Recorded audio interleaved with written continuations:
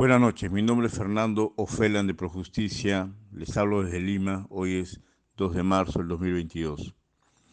El presidente de la República no puede mover mucho el avispero hasta antes del 8 de marzo. Definitivamente la relación que tiene con los congresistas ya hayan sido comprados, ya han sido convencidos, etcétera, etcétera, hace que tenga un voto de confianza más o menos esté asegurado. Si el voto de confianza está asegurado, el tema de la no vacancia está asegurada. Eso no, nos, eso no nos asegura a nosotros que las cosas vayan a caminar bien, pero sí le da una pequeña tranquilidad al presidente. De hecho, creo que cambiar al jefe de inteligencia del Estado peruano, el señor Fernández de la Torre, es imperativo. Habría que hacerlo mañana mismo, pero también entendemos que hay una situación de correlación política con el señor Cerrón. ¿Cómo se deshace Castillo de Cerrón? ¿Cómo se deshace de su bloque parlamentario? ¿Cómo se deshace de las ideas estúpidas de Cerrón? Evidentemente hay mucho que hacer ahí. En segundo lugar, en ese instante el presidente Castillo no quiere que ningún primo, sobrino, cuñado o perro se le acerque del lado de la familia porque teme que cualquiera de ellos puede ser susceptible de una grabación, video, documento, fotografía, imagen de dron, lo que fuera. Porque evidentemente en esa visión chotana de la reciprocidad, en esa visión chotana de aquellos que han ido a visitarlo y colaboraban como si fuera una palpa, ¿no? Al estilo huancaíno, evidentemente eso no es normal.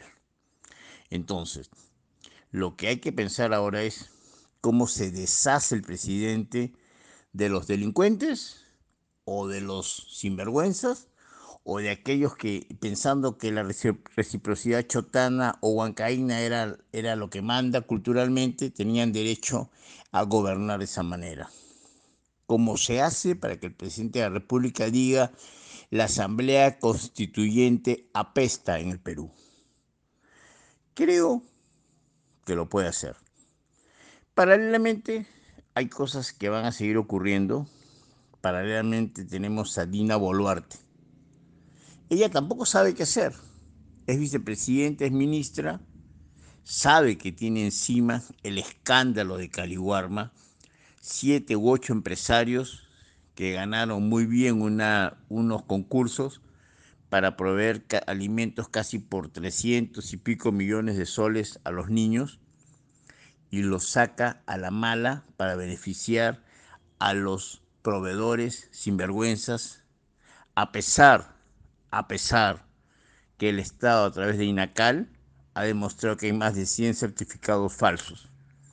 Y no hace nada, no hace nada por sacar a la mafia de Caliwarma es importante, estamos iniciando el año escolar en todo el Perú y tenemos una mafia dirigida por el jefe Caliwarma, sus directores y la ministra Dina Boluarte lo tolera. Si es incapaz de cambiar eso, ¿cómo podemos pensar que es capaz de hacer cosas al favor del país? Además de eso, tenemos todo este tema de la derecha.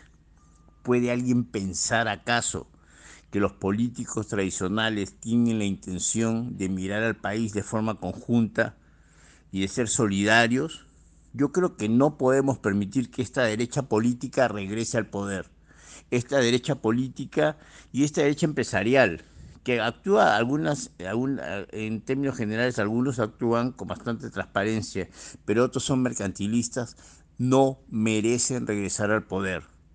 Por eso el presidente Castillo tiene que entender o se reubique en el, en el centro, desecha la estupidez de Cerrón y compañía y por lo menos logra que antes que quizás una vacancia, un video, una foto, lo que fuera, por lo menos su nombre no quede tan sucio como ahora lo está.